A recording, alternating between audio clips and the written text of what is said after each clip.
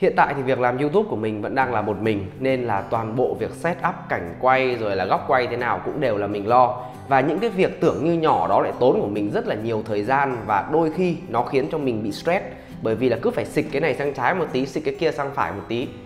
Thế nhưng mà mình đã tìm ra một cái giải pháp đó chính là nghe một cái bài hát thật là nhẹ nhàng, thật là thư thái.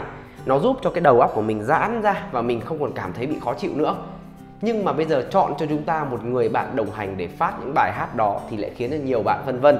Và trong video này thì mình giới thiệu với các bạn một trong số những người bạn đồng hành của mình, đó chính là Blitzgood AS4 với chiếc loa này thì mình đã sử dụng được khoảng tầm là hai tuần vừa rồi. Và trong hai tuần đó thì mình nghĩ rằng đã đủ để đánh giá cùng các bạn, cũng như là cho các bạn cái lý do để chúng ta nên mua hay là lý do để các bạn chưa nên mua. Và ok, bắt đầu cùng mình nhá. Mình là công, tới từ review OS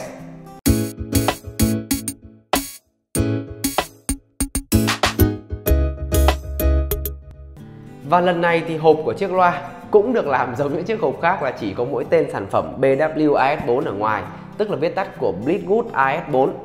Chứ còn chúng ta không hề có hình ảnh gì cả. Và phía mặt sau đây sẽ là một số những thông tin ngắn gọn liên quan đến sản phẩm như là Bluetooth là 5.0 này, điện đầu vào 5V, công suất la là 20W và viên pin là 2000 mAh.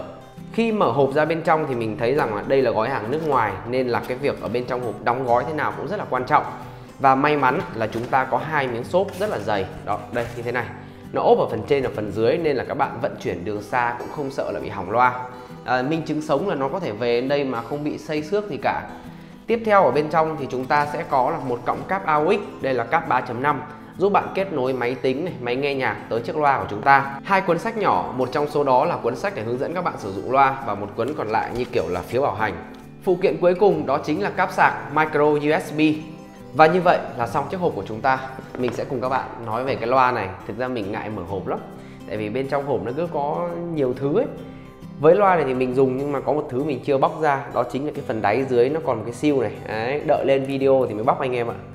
Phải đợi có cái gì bóc cho nó vui chứ. Với lại cái siêu này mình phát hiện ra nếu như bóc ấy, thì cái đế cao su ở dưới sẽ rất là nhanh bị bẩn. Đến ngày mình quay cho các bạn nhìn trông nó xấu lắm. Nhưng mà hôm nay tự tin bóc nó ra.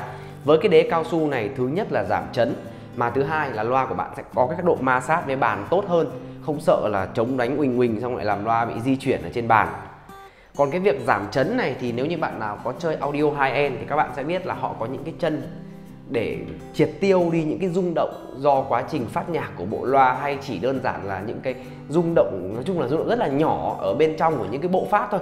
À, về cái này thì chuyên môn có lẽ phải dành hẳn một cái video để chia sẻ với các bạn chứ mình lâu lắm thì không tìm hiểu lại là không nhớ hết quay trở lại với chiếc loa của chúng ta là ở cái dòng giá rẻ thì nếu như bạn nào quan tâm tới mức giá cái loa này các bạn đừng quên truy cập đường link của bang Banggood mình sẽ để ở phần mô tả của video này nhá mức giá đâu đó khoảng tầm là 50 đến 60 đô Ấn tượng đầu tiên của mình với lại Blitzgood AS4 đó chính là tròn trịa, bầu bĩnh và cầm cái loa này thì cũng khá là đầm tay.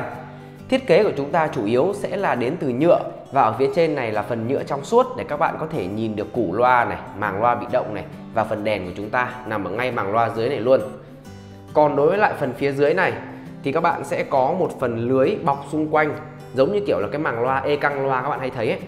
Và đồng thời cũng sẽ là vị trí đặt cụm phím điều khiển.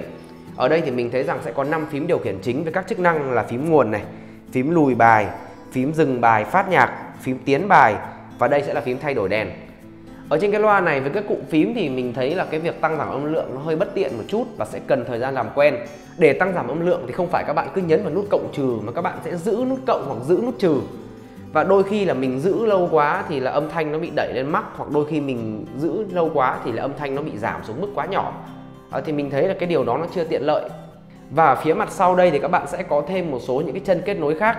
Đầu tiên là một cổng AUX để cắm dây kết nối đấy mình cho các bạn xem đấy, dây 3.5 một cổng TF thì các bạn có thể cắm trực tiếp thẻ nhớ vào phát nhạc ở trên loa và cuối cùng là chân sạc micro USB cái đầu nguồn vào này của chúng ta là 5V nên các bạn dùng luôn củ sạc hoặc điện thoại sạc cũng được.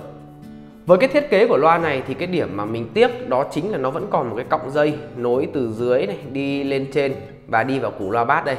Nếu như cái cọng dây này mà được ẩn đi theo một cách mà nó tinh tế hơn thì chắc chắn là loa này sẽ đẹp hơn rất là nhiều. Còn nói về cái việc là 360 độ, vậy thì loa này nó có mấy driver?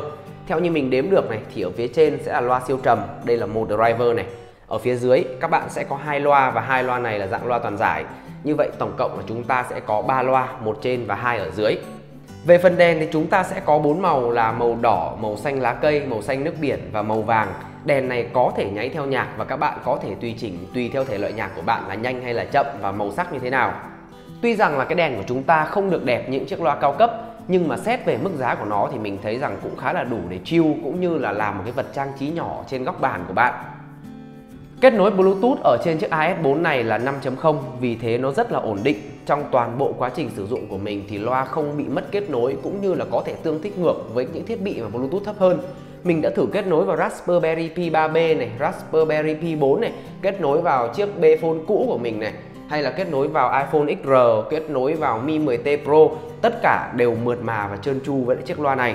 Trong sách hướng dẫn có nói về một tính năng cho phép kết nối hai loa này với nhau nhưng mà đáng tiếc là bây giờ mình chỉ có một loa thôi nên là mình không thể kết nối thử cho các bạn xem tính năng đó được. Vậy thì nhờ bạn nào có điều kiện chúng ta mua hẳn hai cái về test hộ mình nhá, xem nó kết nối được thật hay không. Khi mà sử dụng thì mình có gặp vấn đề về âm lượng, Tức là phải chọn cái nguồn phát nào đó có công suất đẩy lớn Thì mới có đủ khả năng kéo cái loa này mắc 20W Và ở đây thì mình có gợi ý các bạn như là MacBook Pro. Mình đã thử dùng cả iPhone hay là mình dùng Raspberry Pi. Thì Raspberry Pi là cái thiết bị mà đưa ra công suất thấp nhất. Mình ước lượng là để mắc âm lượng của loa chỉ khoảng tầm 12W thôi.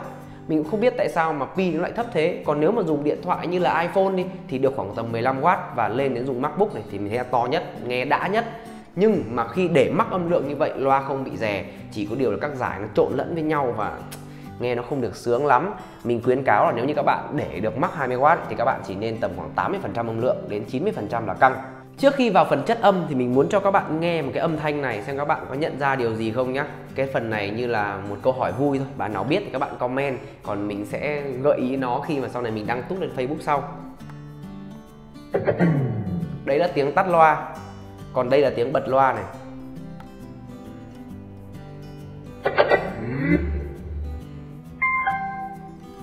Thế là tiếng đang tìm kết nối. Đấy là tiếng đã kết nối. Đấy, Thế thì bạn nào mà tinh tai thấy rằng là nó rất quen và giống cái gì, Thì các bạn nói cho mình biết nhá. Chúng ta cùng nhau chuyển sang phần chất âm. Nói thực với các bạn là cái âm bass ở trên AS4 mặc dù là có loa siêu trầm ở trên hỗ trợ nhưng mà nó vẫn không vượt được cái sự kỳ vọng của mình và nó có phần là mình hơi bị hụt hẫng một chút.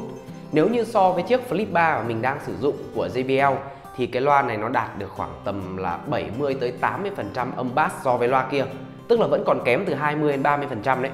Nhưng mà may quá là cái giải mid của chúng ta nghe nó lại vẫn ngọt ngào, vẫn rõ ràng và nếu như sử dụng để nghe nhạc vàng đi, mình hay nghe nhạc vàng mà nghe rất là sướng tai.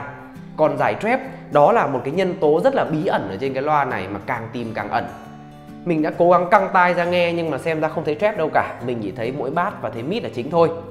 Tuy nhiên phần chất âm này nếu như chỉ nói đến 3 giải sau đó dừng lại thì sẽ rất là thiếu sót về cái điểm nhấn của chiếc loa này bởi vì điểm nhấn đó chính là âm thanh 360 độ nhưng mức giá lại chỉ 60 đô. Và với cái mức giá này thì chúng ta đang có một chiếc loa mà bạn chỉ cần đặt ở giữa phòng thôi sau đó bạn đi xung quanh phòng thì mọi vị trí, âm thanh nó đều là như nhau, Mang lại cho các bạn một trải nghiệm nó rất là toàn nhất và đồng thời là với những loa 360 độ thì có một cái đặc điểm ấy, Đó chính là các bạn nghe trong thời gian dài mà không gây ra cảm giác bị mệt mỏi Bluetooth AS4 hoàn toàn làm được điều này Viên pin cung cấp năng lượng cho loa, có dung lượng là 2000 mAh và cho phép loa phát nhạc liên tục từ 4 tới 5 tiếng, bao gồm cả việc là nháy đèn luôn. Mình đã test thử 3 lần liền sạc thì lần nào cũng đều đạt được con số này. Tổng kết video này lại thì Bluetooth AS4 là một chiếc loa 360 độ với mức giá phải chăng chỉ khoảng tầm 60 đô. Chưa kể đây lại còn là một chiếc đèn trang trí vô cùng đẹp mắt cho căn phòng hay là chiếc bàn của bạn. Vậy thì bạn có lựa chọn đây là người bạn đồng hành khi mà mua loa 360 độ hay không? Thì mời các bạn ý kiến ở phần bình luận của video cho mình cùng biết nhé. Còn bây giờ xin chào mọi người và hẹn gặp lại trong những video lần sau của Review OS.